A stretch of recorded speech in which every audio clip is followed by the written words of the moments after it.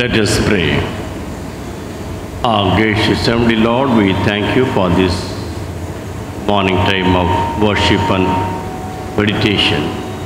Lord, we thank you for giving this opportunity to come together in person and enjoy the fellowship and to reflect thy word. Fill us with the Spirit to be honest and alert in listening and learning thy word. In Jesus' name we pray. Amen. To glorify our Lord, shall we all stand and sing hymn 180, hymn 180, There is a green hill far away.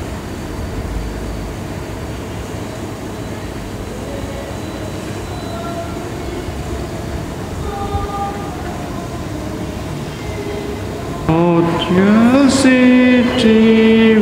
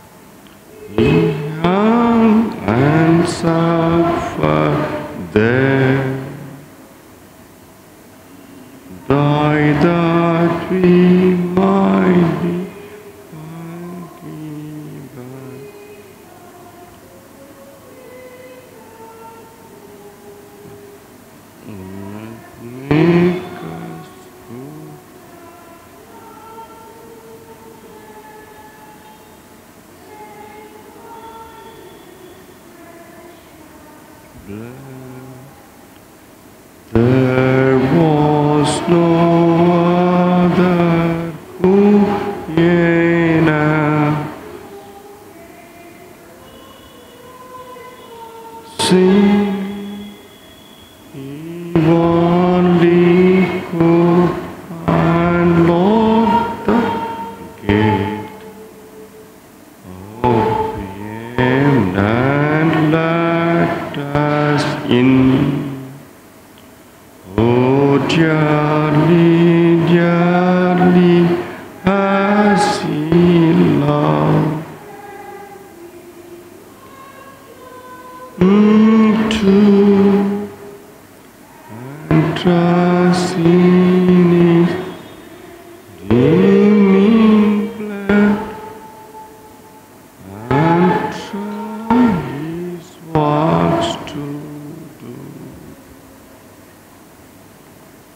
Let us follow the special Lenten order of worship.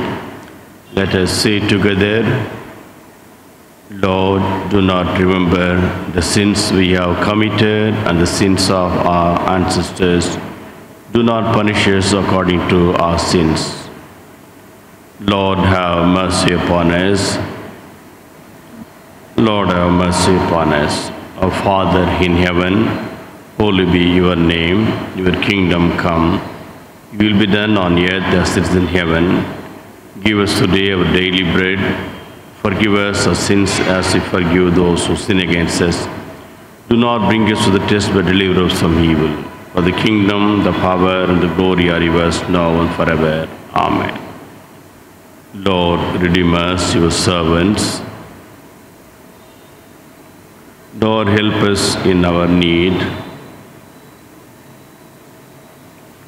Lord, our Savior, establish us, your servants. Lord, hear our prayer. Let us pray, let us pray together.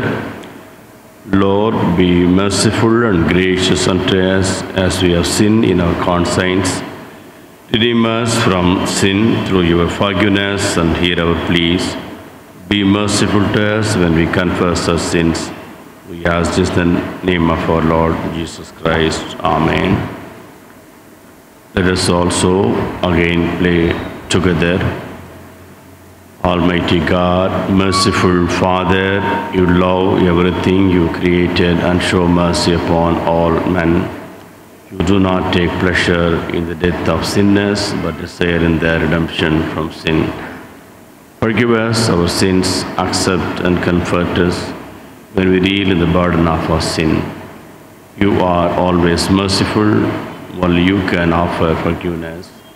Have mercy upon us, your people whom you have redeemed. God of all kindness, have mercy upon us. Do not judge us, these your servants, who are sinners and are like dust. We humbly confess our iniquities and feel remorse for our sins and turn away from your anger. Grant us the grace to live with you in eternity. We ask this matchless name of our Lord Jesus Christ. Amen. Let us pray together. Gracious Lord, turn us unto you, then we will turn to you. Be gracious unto us, your people, who come to you with tears, fasting, and prayers. For you are the God of mercy, compassion, long suffering, and kindness. You are patient with us even though we deserve punishment. You remember your mercy even in moments of anger. Be merciful to us, your people. Lord, grant us your mercy. Protect us, your inheritance, from all troubles. Because of your unending mercies, hear us, Lord. According to your great mercies, look upon us. Fulfill all these requests in the matchless name of our Son and our blessed Savior, Jesus Christ. Amen.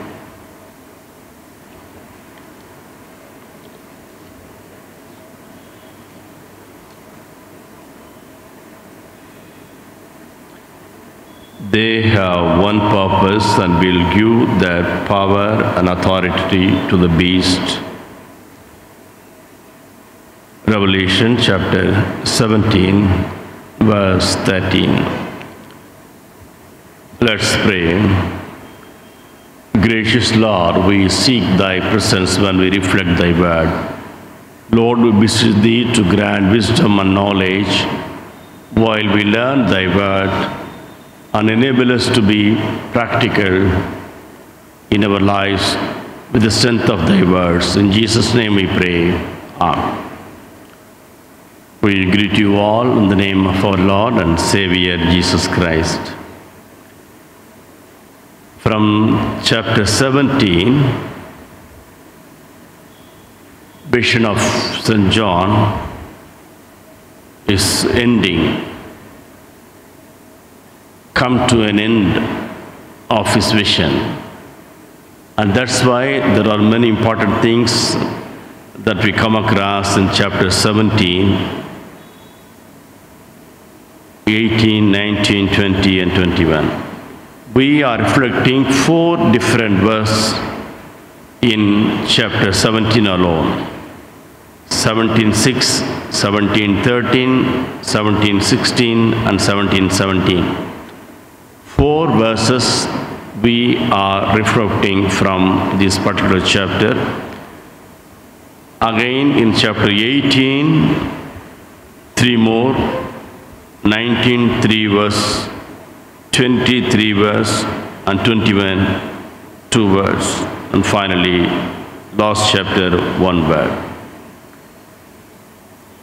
This vision is uh, astonishing one an angel speaks to John saying that I will explain to you the mystery of the woman and of the beast she rides. When I saw, verse 6, when I saw her, I was greatly astonished. Her dress, the pearls, other diamonds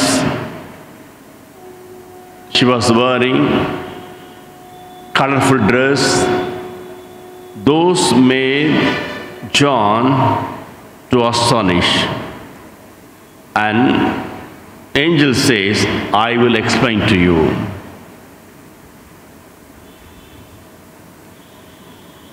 I will explain to you the mystery of the woman and of the beast she rides, which has the seven heads and ten horns.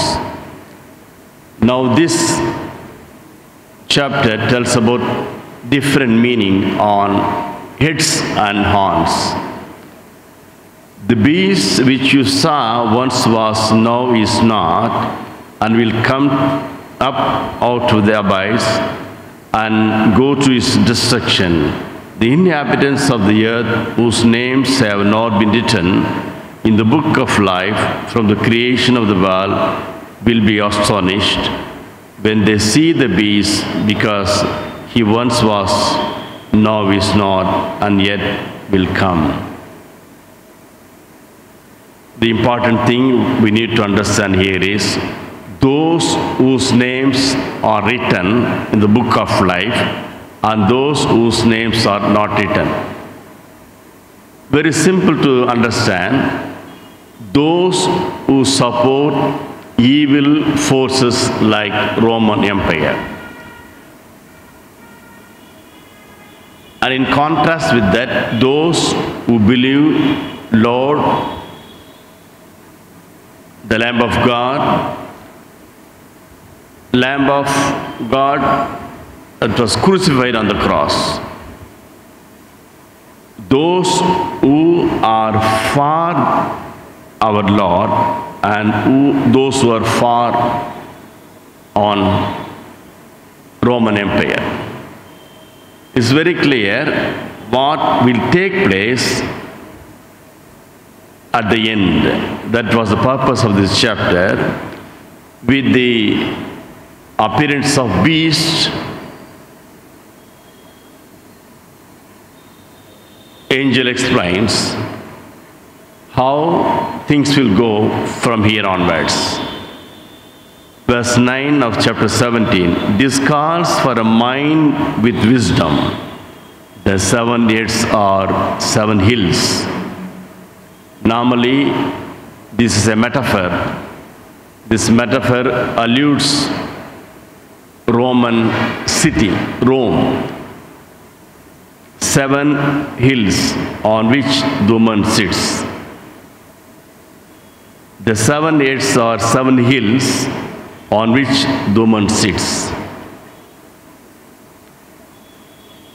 Very simple, this woman represent Roman government or the administrative office or the royal court, the city itself. Those women represent Rome from where they pass orders to wage war against countries. This was the place, Rome was the place where there was an administrative office. They conceive ideas and they plan in such a way to put people under enslavement, to collect more taxes. Now what happens? This woman will be put into lots of trouble and they will destroy her. Those who were supporting the city will turn against her. And God allows these things. We are going to see in the next verses. They are also seven kings. Seven kings are mentioned here. Seven kings and seven cities are given here. They are also seven kings. Five have fallen. It is a confusing thing in which John was not familiar with. Now it talks about those kings who have ruled Roman Empire. There is reason to mention all these kings. Five have fallen, one is, the other has not yet come, But when he does come, he must remain for a little while. The beast who once was and now is not is an eighth king. He belongs to the seven and is going to his destruction. These kings were there waging war against many countries. They have consolidated power of the Roman Empire and they have become number one country around the world in their time of kingship. And the reason is that all these kings were against God, against people. And one is going to come will not rule for a longer period. Verse 12 The ten horns you, you saw are ten kings who have not yet received a kingdom. These are kings ruling small countries. They pay taxes to this Roman government. They represent their own country. They are called as vassals. They have to pay contributions from their collections to the Roman government. They are under the control. Ten kings are under the control of the Roman emperor, empire and they have to pay tax to them. The ten horns you saw are ten kings. Why God wants to tell all these things to John is a point to ponder upon. Because these seven kings and ten more vassals they will be destroyed. They will not exist to administer to rule over ordinary people there will not be any enslavement there will not be any enslavement the ten horns you saw are ten kings at the beginning, chapter 17, verse 3. Then the angel carried me away in the spirit to into a desert. There I saw a woman sitting on a scarlet beast that was covered with blasphemous names and had seven heads and ten horns. This woman was seated on the beast. This city, Roman city, was sitting on the beast, the power of the beast. The beast controls, represents many kings. The entire system of administration is taught here to understand, to realize, and how they are going to be destroyed. There is an answer from God for the voices of the souls under the altar. Chapter 6, we have seen already. Chapter 6, verse 10 they called out in a loud voice, How long, sovereign Lord, holy and true, until you judge the inhabitants of the earth and avenge our blood?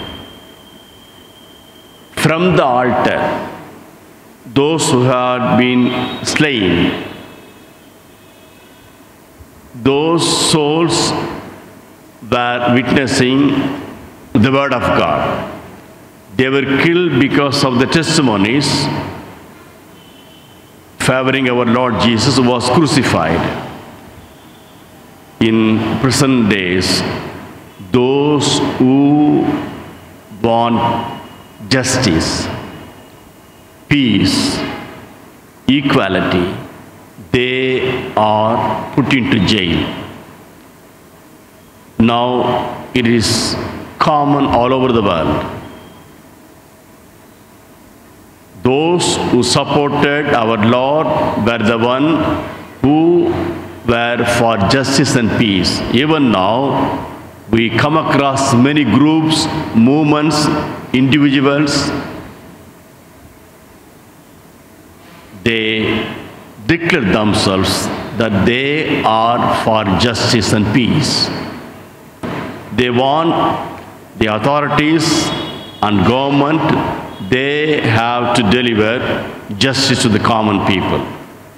But what actually takes place is very pity. They are put into jail and they languish in the jails without any trial for many years. There are many such laws that prevents people from talking for justice and peace. The ten hands you saw are ten kings who have not yet received a king a kingdom, but who for one hour will receive authority as kings along with the beast. It is a vision that they will administer for an hour. They will be administrating the whole Roman Empire for an hour.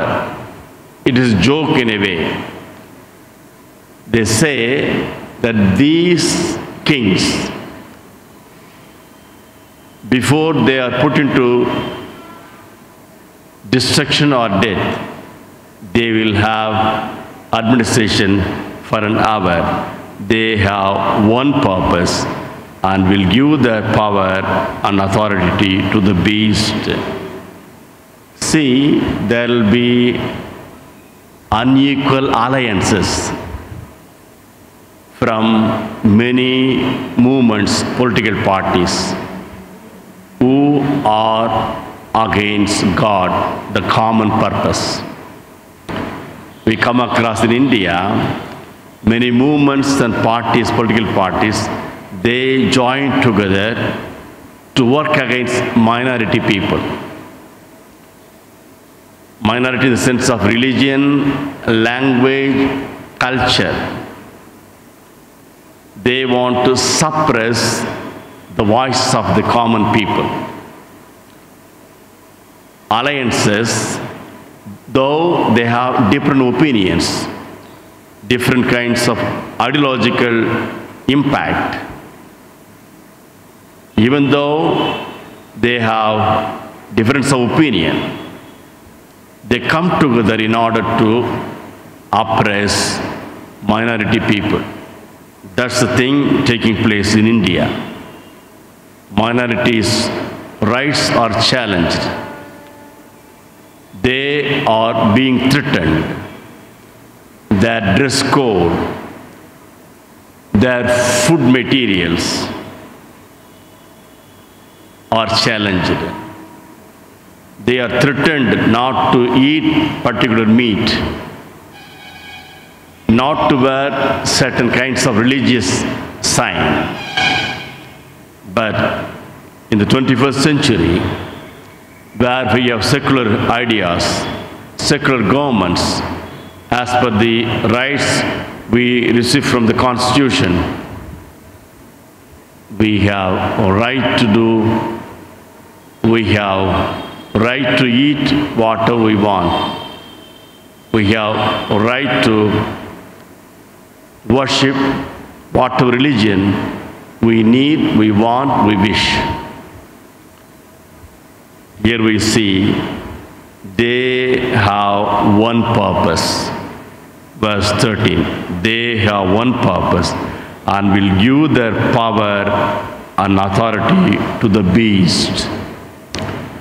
Beast, these rulers, they consolidate power with the support of others who may have difference of opinion, but money will make them to support them. With the power of the money, they will get support and they will see that they come to power and suppress the common people. we are in a context where we have to understand the book of Revelation accurately. It's very much useful in Indian context how God gives vision to John, how he teaches him. Through him, he organizes the young church to be aware of the sources of injustice, how unrighteous things originate, and how they have to be a movement to get ready to face the final judgment or final day. God will be with them. Those who suppress the common people will be taken away from their administration. They will not rule, they will be washed away. We know what happened in Rome. I have often mentioned that the language that was used by the Roman Empire to pass order against the common people now is an extinct one. Latin language is a dead language that was an official language of Roman Empire. God paralyzed the entire system of the government. That's how God works in history. God intervenes in the history and supports the common people and see that justice is delivered. Let us pray. Gracious Heavenly Lord, our purpose is to build your kingdom here in this year.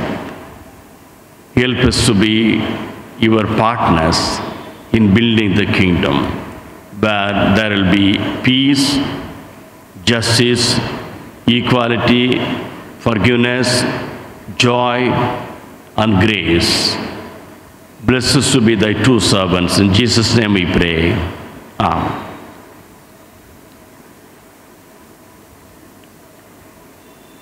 Let's all stand and sing hymn 182. When I survey the wondrous cross, hymn 182.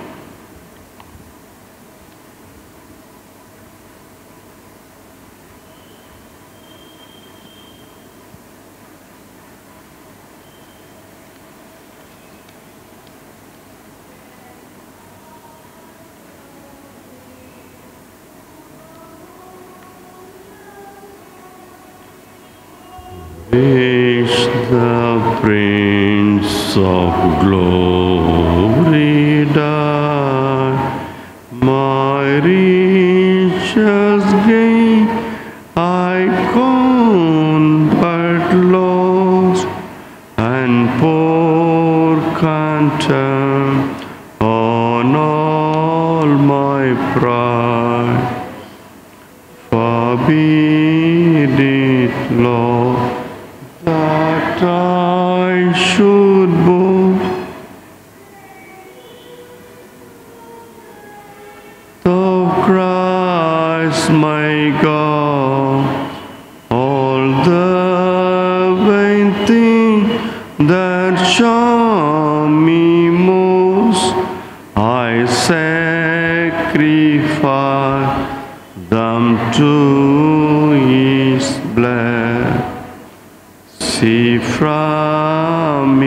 Head, His hands, His feet,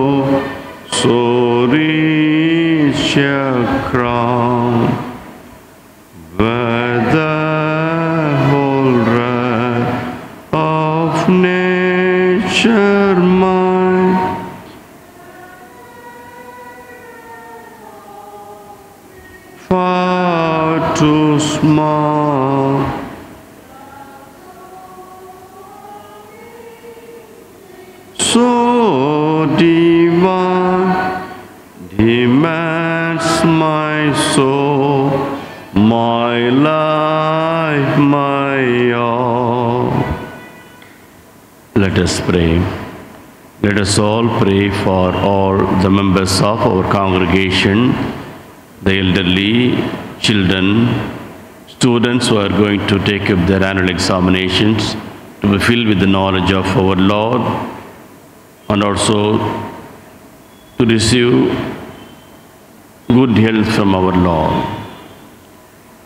Let us pray for our nation, for those who are unable to meet their expenses of education, medical needs, those who are unemployed, those who do not have permanent employment, that there be God's presence in their families to feed them and to meet their needs. Let us also pray for world peace, for the world leaders, for the even UNO to take measures and to make Ukraine and Russia to stop the war and to bring reconciliation between the two countries, bringing peace. Let us also pray for those who are displaced within their own countries and those who have been become refugees in the neighboring countries. Gracious Heavenly Lord, we submit all these petitions to thy throne of grace. Answers our prayers. Lord, let our prayers be honest and truthful to thy sight. Bless all those who are here. Be with us when we go back to our respective places. Protect us and guide us. Let there be thy presence in all our activities. Lord, we also pray for the last day of this month. We have witnessed many biblical truths throughout this month. Lord, we seek the presence when we enter into the new month in this year. In Jesus' name we pray. Amen. The grace of our Lord Jesus Christ, the love of God, and fellowship of the Holy Spirit be with us all now and forever. Amen.